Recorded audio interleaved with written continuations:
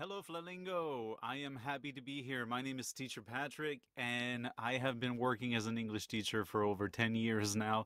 I live in Japan. I have been in Japan for the past nine years, and I have been teaching online for about six years, and I worked in classrooms for about four to five years now. So I have about 11 to 12 years of experience as an English teacher. I can help you with your French also, and I do communicate in Japanese. I can read Spanish, Italian, and Portuguese also. Um, there might be some odd words that I cannot understand because I don't really practice too much in those languages Spanish, Italian, Portuguese.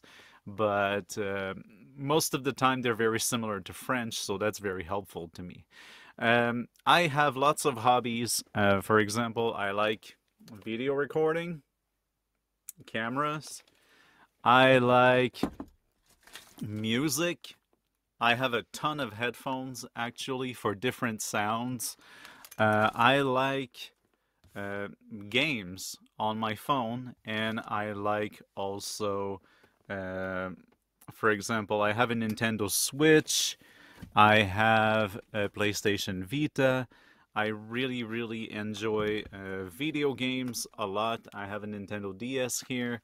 Uh, I have a ton of dolls. Uh, for example, uh, here is a very famous one here in Japan. It's uh, Totoro. so I have a small Totoro here. I have another one that's blue over here. And uh, I have lots of Pokemon. Um, so, yes, I have lots of hobbies. I can talk about pretty much anything.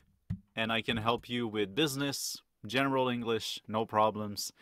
And I don't want to make this any longer. So if you want to know more about me, you have to come and take my lessons. Let's have a talk.